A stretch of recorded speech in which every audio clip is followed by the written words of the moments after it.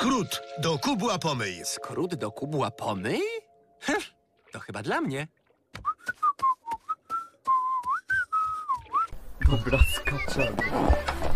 Na nogi. To wcale nie kubła.